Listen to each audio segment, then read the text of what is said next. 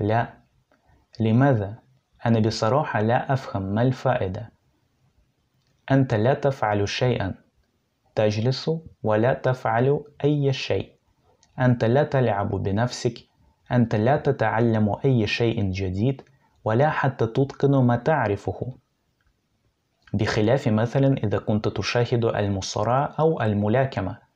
نعم أنا لا أقول إن هناك فوائد كثيرة ولكن ربما تستفيد من بعض التقنيات الرياضية.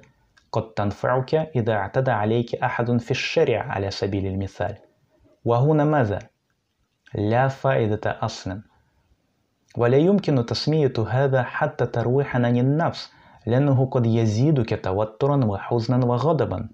عندما تشجع أحد الأفرقة هو ينهزم وأنت تحزن وأنت تغضب ولا تستطيع أن تقدم أي مساعدة لفريقك المفضل. وتتعود بذلك العجز وتعترف في داخلك أنه لا فائدة لك أصلا ولا تأثير لك في هذه الحياة.